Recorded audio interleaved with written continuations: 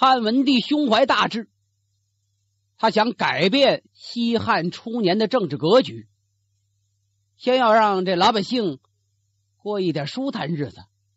打了几十年的仗了，呃，甚至从春秋战国开始来说，好几百年战争就没有长时间间断过。他要休养生息。二一个，先朝的旧气，那些贵族们权势过大。就连他们刘家的这帮哥们弟兄，这些亲王们，也都有危及中央的事态。自己一时不能够完全改变，但是他从启用新人上已经考虑到这一点，在为自己的后事打一个良好的基础，做好人才跟政治环境的准备。所以他重用贾谊呀。可偏偏这贾谊年轻气盛。呃，病死了，让他去做自己最喜爱的儿子的老师，这不是留了一手吗？贾谊以为失宠了呢，以为自己的政治主见皇帝再也不采纳了呢，偏偏又赶上那位皇子骑马摔死了。贾谊一着急，没一年，这位才华横溢的青年也让人叹息的死去了。紧跟着。汉文帝让自己第二个儿子淮阳王刘武继任为梁王，又奔了长沙了。谁做这皇子老师啊？派了一个新的太傅，叫晁错。这晁错可是一个了不起的大才子。一提起晁错，谁都知道那是颍川名士。颍川就是现在河南省中南部一带。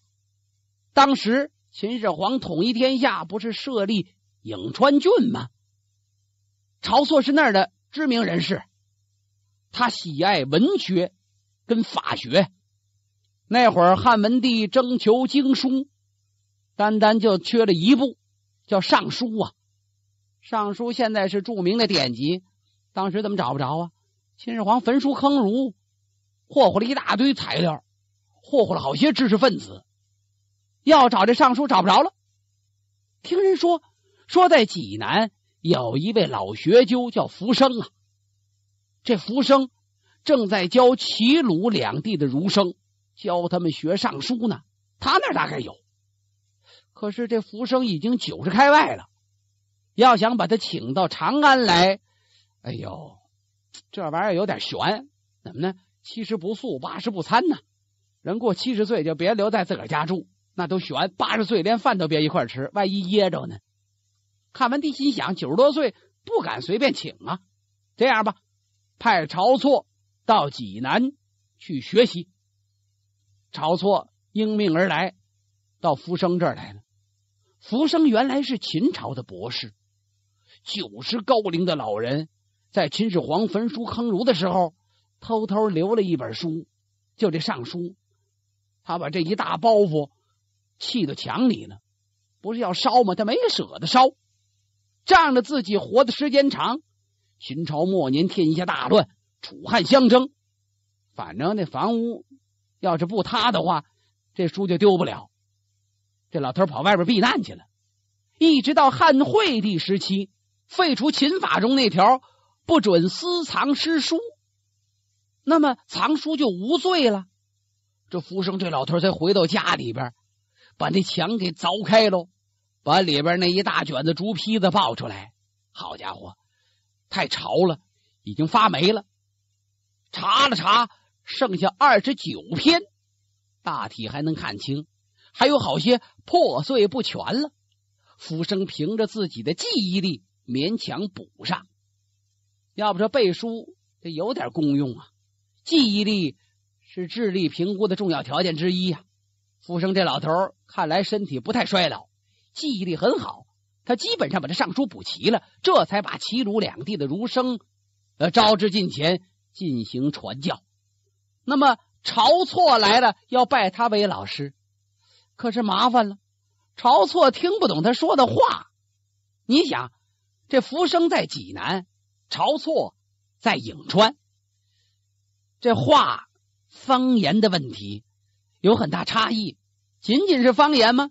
九十多岁的老头，那牙齿掉的也差不离了，发音又不清楚，不这晁错跟听外语一样，瞪俩大眼珠子，这都听不明白。幸亏福生的女儿给他做翻译。福生的女儿叫西娥呀，她精通尚书，一句句替父传音。晁错总算学明白了。晁错学完了尚书，留下副本带回京城。也像贾谊一样受到了汉文帝的重用，他主张跟贾谊相似，对内要削弱诸侯王的势力，对外应该抵抗匈奴的侵犯。匈奴一直是西汉政权的威胁，当年汉高祖刘邦不就曾经被人围困过吗？万般无奈，刘邦想了一个辙，叫和亲呐。从此开始。大汉与匈奴的和亲政策，作为亲家总不能打仗了吧？可是这匈奴，呃，他是游牧民族，时而就把这是亲属这事儿给忘了。每代帝王都有和亲之举，汉文帝也不愿跟匈奴打，为什么？实力达不到。现在老百姓厌倦战争，休养生息为主，那就尽量和亲，和为贵吧。但是和平这问题可不是一个人说了算的。这匈奴，他一会儿一个态度，一会儿一个改变。汉文帝很头疼，跟晁错商量。晁错研究了近几十年来匈奴的动向，他上表彰劝谏汉文帝，说匈奴乃游牧部落，时常到长城跟前来打猎，这是为了看看我们的边防状态。防守的兵丁要少了呢，他就打进长城来抢掠一通。朝廷要是不发救兵呢，那住在边界的老百姓可就遭了殃了。要是发兵去呢，人匈奴不打，呃，他是满载而逃，人家跑。所以我想来想去，还是应该把军队驻扎在边疆上，但是费用又有些过大，不驻扎军队。匈奴又随来随抢，这样一年年下去，劳民伤财。边界老百姓种那点粮食还不够他们抢的呢。皇上要想注意边疆，发兵去防守，当然是好事。但是遥远的地方防守的边疆，那人数有限，每年又都得换防，军队往来要花去很多费用，所以不如下一个决心呢，就在边疆。建筑一些城池，多盖房屋，招募内地的老百姓搬到边疆去住。边疆上每一个城池必须移民一千户以上，由咱们官家发给他们牲口、农具、粮食，还有春秋四季的衣服，直到他们自给自足为止啊！如果他们抵抗匈奴，把匈奴夺去的牛羊财物夺回来，那……这些东西就归还原来的主人，然后再由咱们按照一半的价钱去赏赐那些夺回财物的英雄。这么一来，驻扎边疆的士兵就可以减少一部分，城里的移民平时耕种，来的时候也就成了抵抗匈奴的士兵，屯民也屯兵，这样就能够有效的防止匈奴的侵略。汉文帝一看，这主意好啊，往边疆移民，半民半兵，这是好办法。采取晁错的计策，招募内地老百姓搬往边疆。首先要大赦罪犯，让他们作为移民的一支主力，到那些边疆去开辟荒地，建立新城啊。晁错还建议汉文帝要提高粮食的价格，压低商人的利益。当初汉高祖不是下过命令吗？汉高祖特别腻歪商人，据说他在荥阳被困、连连战败的时候，好些商人是低价买、高价卖，把刘邦得罪了，所以刘邦掌权就压制当时商人的利益。赶到吕后临朝的时候，他对商人的限制就放宽了一些，除了商人和他们的子孙不能做官这条没改，别的都不在意了。而晁错的主张是重农抑商，为这事，他专门又给汉文帝写了奏折，说开明的君王最看重是五谷，对那些金银玉器、珠宝钻石看的都很轻。现在农民整年勤劳不得休息，就算没有天灾，也会因为粮价太低没法过日子。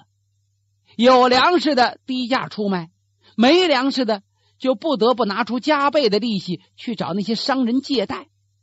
要这样一来，农民只好卖田、卖房子、卖妻儿，活得得多累呀！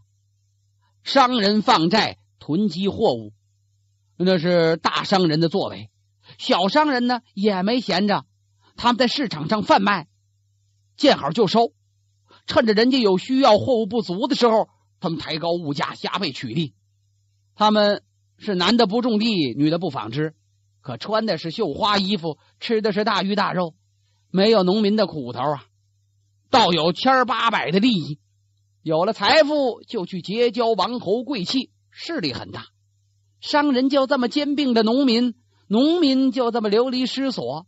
所以现在要鼓励百姓耕种，鼓励他们生产。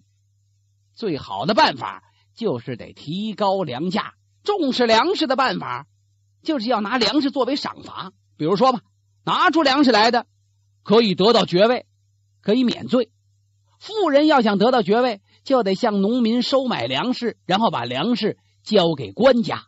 这么着，富人有了身份名誉，农民也有了实惠，郡县也有了钱粮的积蓄。如果天下人都拿出粮食来，可以得到爵位，可以免去罪责的话，用不了三年，咱们粮食就够了。把这些粮食送到边疆。再加上边疆上聚藏的那些粮食，可以供五年之内吃用的。再打起仗来，咱们也就不怕了。这粮食就这么一年一年的囤积，经常保持这么大的存储量。打起仗来，还有什么忧虑啊？汉文帝采纳了晁错的建议，往边疆移民，促进生产，收藏粮食。但是，这晁错这建议也有负面影响。给后世卖官鬻爵开了一个头啊！拿粮食、拿金钱可以换得爵位，使得很多赃官位居高位呀。汉文帝是真疼老百姓啊，把那田租减了又减，有一年都全免了，自己也是节衣缩食，就为了休养生息。汉文帝继位那年二十三岁。在他做皇帝做到第二十三年的时候，重病不起了。公元前一百五十七年，汉文帝立下遗嘱，让人闻之痛心呐。说什么呀？说万物有生就有死，死乃是万古之理，用不着伤心。现在很多人听到死就害怕，死了人为了出殡安葬得花很多钱。浪费人力、财力、物力，甚至有的人是倾家荡产，为了追悼死者，过分的伤心痛哭，弄坏了身子，这都不好。汉文帝自己不赞成。像我这样，他很谦虚啊，说自己是道德不高、才能浅薄的人，完全靠的是上天的恩赐、祖宗的鸿福、天下诸侯王的爱戴，我才做了这二十多年皇帝。四方还算太平，没有大的战争。我这样死已经够造化的了，所有的人都不要难过。因此，我嘱咐天下官吏和老百姓，待孝只准三天，你甭长年累月的。在这期间，没有必要禁止结婚呐、祭祀啊、喝酒啊、吃肉啊，该干什么干什么，一切照旧。本族的人也不必像以前那样赤着脚跺着地在那哭。带孝的马不能太长喽，有三寸，意思意思就够了。不要去发动老百姓到金殿上来嚎丧。那宫里的人也不用早上晚上非得哭那么几嗓子，有这精力都放在田间地头，那比在我灵前哭强多了。过去守孝动辄三年，太长。现在拿一天当一个月，三十六天就可以满孝了。把我葬在长安东南的霸陵啊，用不着起大坟，那坟头不用堆的太高。除了夫人以外，所有后宫里的女人一概送回自己的家中，全送回娘家去。别的事儿我也想不起来，就按这意思去办吧。好一个汉文帝呀！为什么历史上对文景之治有这么高的评价呢？从他这份遗书里，我们就能看出，这个封建帝王直到今天。还有令人感动的品行，可以引人深思，足为借鉴的。汉文帝立了遗嘱，连话都少了。太子刘启哭着问：“您要把我们扔下，我们怎么办呢？”汉文帝温和的看了看自己的儿子，指了指周亚夫：“就周勃的儿子呀，有他在，你不必担心。”周亚夫。就是细柳营里的那位将军。当年汉文帝视察细柳营的时候，周亚夫手下人都不让他进来，军令如山嘛。只有这样的军队，才能打败匈奴，才能巩固国家边疆的安定啊。所以，他让周亚夫扶保自己的儿子刘启。四十六岁的汉文帝，在公元前一百五十七年病逝了。继位的刘启就是那位汉景帝。汉景帝继位之后，觉得他父亲减轻百姓租税这是对的，但是要把这租税全免了，那我们花什么吃什么呀？继位的头一年，他就开始收原来田租的一半，也就是三十税一，收百分之三点三三吧。汉文帝在世的时候，不是废除了好多肉刑吗？比如刺字。给脸上刺字啊，啊，割鼻子异刑，还有那越足跺脚，这都去掉了。汉景帝进一步把很多刑罚减轻，这是休养生息、恩待百姓的重要一点呐。他发现晁错给他父亲的建议都是正确的，他重用晁错，升晁错为御史大夫啊。那么晁错更是忠心耿耿了。他看到那些诸侯王的势力越来越大，作威作福，现在已经不受朝廷约束了。小皇帝这么年轻，这将来要造反怎么办呢？晁错大胆提出了自己的想法，就是历史上著名的“晁错削藩”，把这些藩王的实力要削弱呀。当年贾谊给汉文帝的建议。是把一个封国不断的细化，越分越小。那么晁错呢？现在建议汉景帝直接你就夺权吧，别再客气了。为什么？现在已经势力太大了。举例子吧，您看现在的齐王，齐王有七十多个城池；吴王，吴王有五十多个城池；楚王也有四十多个城池。他们这势力这么大，不服从朝廷，这马上就会把汉朝天下。弄一个四分五裂呀！晁错拿那吴王刘濞做了一个例子，他劝告汉景帝：吴王不来上朝，按理应该治罪呀。先帝就那汉文帝曾经赐给他姬杖，本来是希望他改过自新，他呢反倒越来越傲慢了，不但私自开铜山铸钱，烧海水煮盐，而且还招收亡命徒。这不是造反，这干嘛呀？要是不及早削去他的部分土地，将来对付他可就难了。一提起吴王刘濞，汉景帝心里边也怪提心吊胆的。当年自己还是太子的时候，刘濞的儿子曾经到京城来，他跟刘濞的儿子那算叔伯兄弟了，俩人一块玩下棋的时候。都是娇生惯养，一个是皇太子，一个是王储，这吵着吵着动起手来了。结果这刘启抡着棋盘，啪，给那叔伯兄弟脑袋给开瓢了。好劲儿还不小，打的还真准。合着开瓢啊，简直就要了命了，给打死了。打这儿起，刘备就算跟汉文帝结了仇吧？为什么不来上朝啊？汉文帝为什么给他赐小茶几儿？给他赐拐杖，也知道他年纪大，老来丧子，怪痛苦的。比较宽容他，尽量别发生矛盾。现在汉景帝继位，刘弼更不服了。你当皇帝，当时我儿子就被你打死了，所以他公开铸钱，公开主盐，盐铁专卖，钱那得听中央的。合着各地都有自己的货币，那当年秦始皇统一度量衡、统一货币还有什么意义呀？啊，这明显的是跟汉朝廷对着干呢。汉景帝恨这刘弼，也打算消除他的势力，可是不敢动手。晁错让他直接去减少他的封地，他也犹豫，万一这么一削藩，他们直接造反了怎么办呢？召集身边的大臣一块商量，大臣们有同意的，有反对的。同意的有很多是看着晁错现在正当红，这是皇帝的红人，谁也不敢反驳他。反对的是有人撑腰，谁反对啊？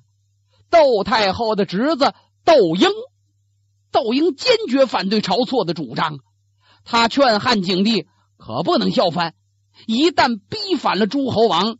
天下就再无太平了。人家窦婴是皇亲国戚，窦婴的姑母是窦太后，这窦太后是汉景帝亲妈。那么这窦婴管窦太后叫姑妈，你说这这关系多近呢？只有他敢跟这晁错对着干。可是汉景帝打心底里是支持晁错的，他一边命令晁错暗中调查。这些宗室亲王有什么不法行动？另外一方面，在想怎么样去削吴王刘濞的实权呢？刘濞正想造反呢，一听说削地削到我头上了，这可算呃有了借口了。公元前一百五十四年，也就是汉景帝三年，吴王刘濞以三十多年来的经济政治积累作为血本啊。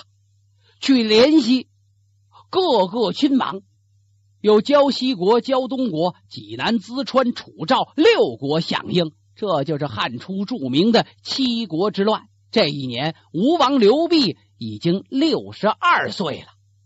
七国之乱打出的旗号是清君侧呀，让人看来好像这目标冲着晁错来的。谁让你给皇帝出馊主意呀？这可是七国联兵。浩浩荡荡多国部队，把这汉景帝吓着了，真有点后悔，不应该削藩了。这时候，朝廷中反对晁错的势力占了上风了，好些人就说这晁错的坏话呀，他是以书生之见坏我们朝廷大局啊。汉景帝为了达到平息战乱的目的，默许了治晁错之罪。好可怜这位御史大夫啊，稀里糊涂的正在上朝的路上，被人骗到刑场，连审问的程序都没有，穿着官衣儿就被腰斩了。晁错忠心为国，却成为汉景帝平灭战乱的政治牺牲品，说来真是千古奇冤。